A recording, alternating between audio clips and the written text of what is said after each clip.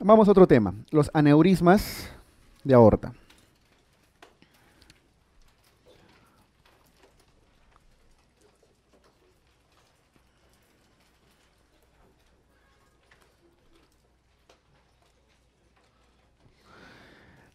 La aorta abdominal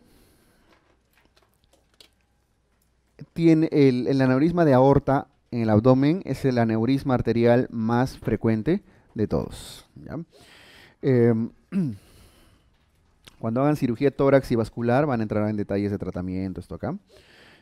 Ahora vamos a la parte clínica, en el abdomen. Es el aneurisma arterial más frecuente. Está aproximadamente en 5 a 10% de la población, en promedio. Incluso los que tienen más porcentaje son las razas blancas y negras, ¿no? Los extremos.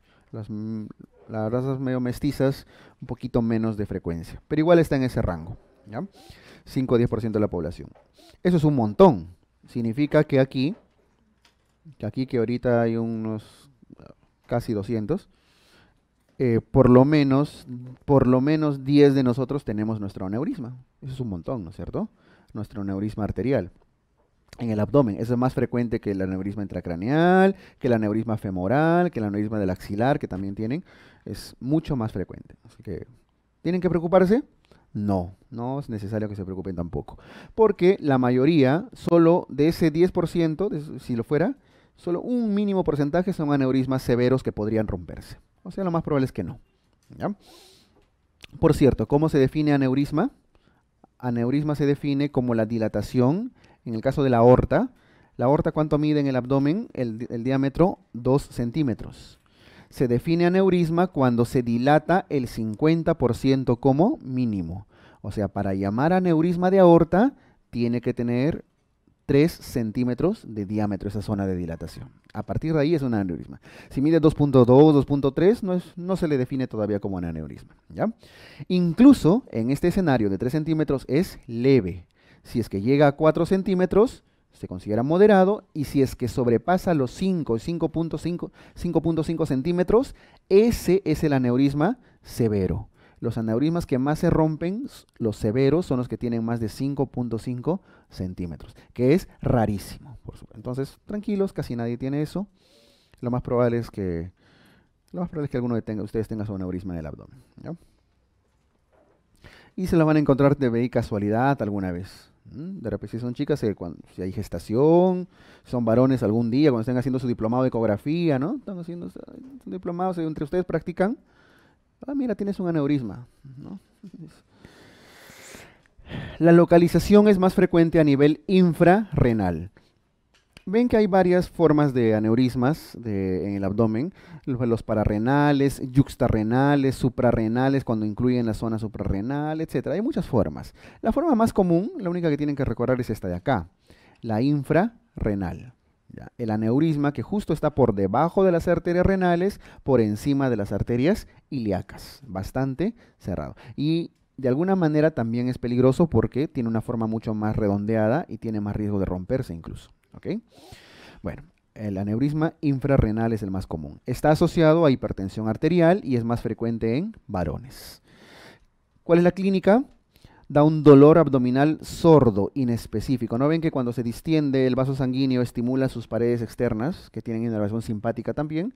Así que da un dolor bastante mal localizado que no saben qué es. Piensan en todo, piensan en apendicitis, en colecistitis, piensan todo. Se hacen todos los estudios y a veces no se piensa en aneurisma. Es muy, muy inespecífico, difícil de diagnosticar. La mayoría de veces es casual. El problema es cuando se rompe. ¿Y quiénes tienen a riesgo de romperse? Los severos, más de 5.5 centímetros. ¿Y cuál es la clínica si es que se rompe? Dolor, dolor súbito y rápidamente evoluciona al shock. Creo que es obvio, ¿no? Shock por el sangrado severo. Siempre requiere manejo quirúrgico. Por supuesto que lo más probable es que muera, ¿no es cierto? Si es que se rompe la aorta. Ni, siquiera va a llegar al hospital, quizá. Es muy grave, de muy mal pronóstico. ¿Ya? Listo, sencillo el tema. Manejo quirúrgico, reparar la lesión. Ya está. Nada más. Ahora, el resto de la parte este, invasiva y esto de mm, los cateterismos y demás lo van a ver en, la parte de cirugía vascular, en tórax. ¿okay? Esto como causa de abdomen agudo vascular. Muy bien. Y terminamos esta, esta parte de esta miscelánea de temas con algo bastante importante, la infección del sitio operatorio. Es chiquito. Las famosas ISOs, ISO o ISQ. ¿Ok? La infección de sitio operatorio, que es el concepto actual, ya ha superado al, al, concepto de infección de herida operatoria, hemos dicho. Cuando hablamos de sitio, son cuatro los lugares que se pueden infectar en sitio operatorio. Uno de ellos, la piel, dermis, epidermis. Epidermis y dermis. ¿ya? La piel, lo más superior. En segundo lugar, bueno, me refiero más profundo, el tejido celular subcutáneo, la grasita, esa parte que está resaltada de amarillito. Debajo de la grasita que viene la aponeurosis y los músculos de la zona subaponeurótica. Los tejidos blandos profundos, así se llama esa zona. ¿eh? Tejidos blandos profundos, fascias, músculos, aponeurosis y por debajo de toda la capa muscular del peritoneo y ahí entran las tripas, ¿no es cierto? Cuando se, hay, cuando se infecta la zona visceral, se forman abscesos, lo pongo ahí de rojo, un absceso. Cuando se forma un absceso, viene en esta zona, es un absceso intraabdominal, ¿no es cierto? El nombre que se le suele dar en ISO es infección de órgano o espacio. Ese término tenganlo claro. Entonces, cuando les hablan que se infectó músculo, es de tejidos blandos profundos. Aponeurosis, tejido blando profundos. Absceso intraabdominal, infección de órgano o espacio. De todas estas cuatro zonas, piel, tejido celular, tejido blando, órgano, espacio, ¿cuál es la zona más frecuentemente infectada? Tejido celular subcutáneo. Tejido celular subcutáneo.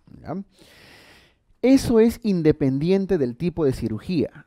Incluso si hay peritonitis o no hay peritonitis, si es que su herida se va a infectar, su sitio operatorio se va a infectar, lo más probable es que sea a nivel del tejido celular subcutáneo.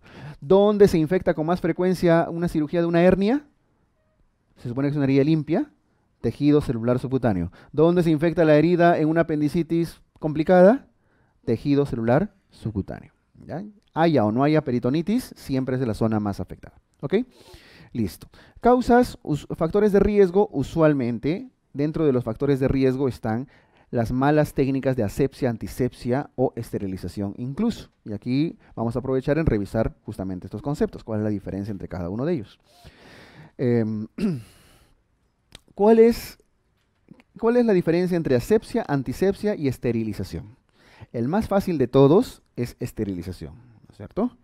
Esterilización es un tema que no ha venido en residentado, vino en el ENAM extraordinario de hace dos años, creo, una pregunta medio aislada.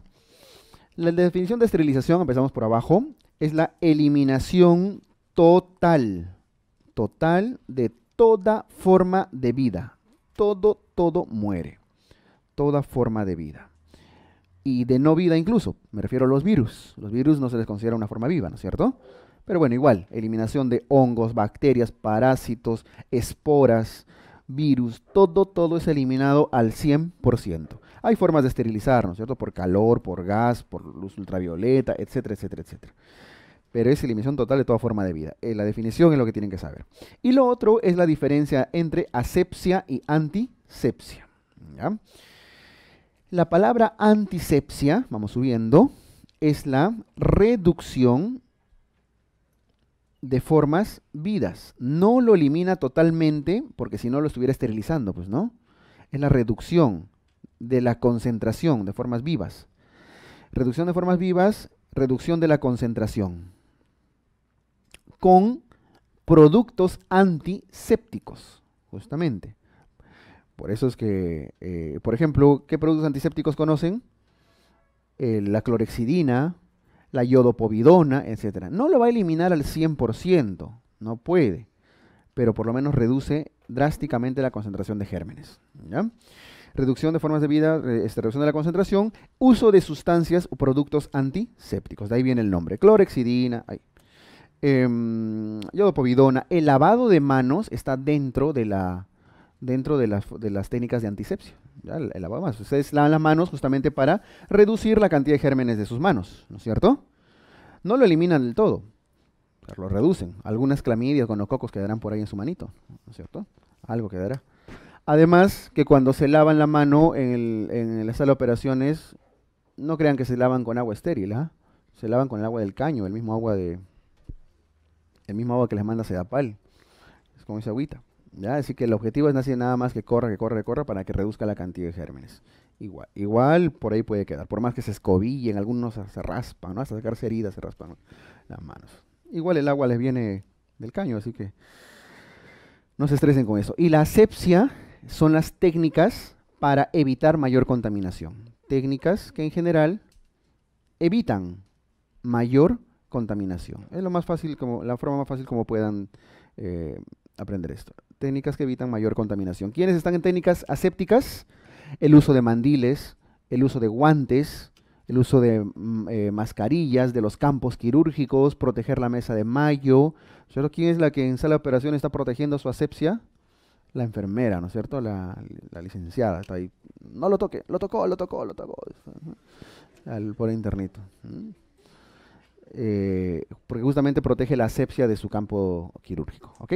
Entonces, la asepsia, evitar mayor contaminación, antisepsia, reducir las concentraciones y esterilización, eliminación de toda forma de vida. Alteraciones en alguno de estos, de, estos niveles pueden llevar a favorecer la, la infección de sitio operatorio. ¿Ok? Muy bien.